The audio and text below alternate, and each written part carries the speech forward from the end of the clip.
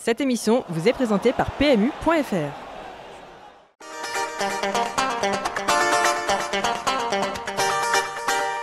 Bonjour à tous, on commence cette édition par la cinquième défaite en 5 matchs de l'OM en Ligue des Champions, un zéro pointé qu'on retrouve en une de la Provence qui préfère toutefois souligner la présence de Barton dans les tribunes de l'Emirates plutôt que de parler du pauvre spectacle proposé par les hommes d'Elibop, c'est dire. En Angleterre, les tabloïds anglais saluent pour leur part le doublé de Jack Wilshere et son but précoce après 28, 29 ou 30 secondes au choix. Quoi qu'il en soit, le numéro 10 des Gunners a battu le record de Wayne Rooney en devenant le but anglais le plus rapide de l'histoire de la C1. Si l'OM a offert un record à Wilshere, le Borussia Dortmund s'est lui offert une finale au Vélodrome dans 15 jours grâce à son succès hier face à Naples 3-1. A noter qu'un succès des Allemands à Marseille conjugué à une victoire de Naples à domicile face à Arsenal renverrait les trois équipes à leur calculette puisque Arsenal, Dortmund et Naples auraient alors 12 points. Plus d'infos sur le sujet à retrouver sur Foot Mercato. On quitte désormais le groupe F pour prendre des nouvelles du groupe H en pleine crise en championnat. L'AC Milan a la tête hier à Glasgow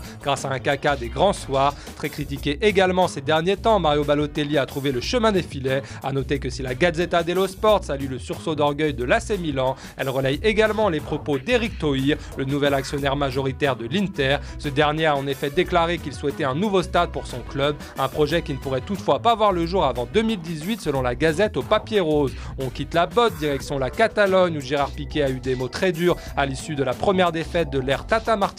C'est notre pire première mi-temps de la saison. Nous avons été horribles, nous n'avons aucune excuse. L'image que nous avons donnée ce soir n'est pas celle du FC Barcelone. Des propos qui font forcément la une de la presse catalane ce matin. Allez, on termine enfin cette revue de presse à la une de l'équipe qui invite justement le PSG à finir le travail ce soir face à l'Olympiakos.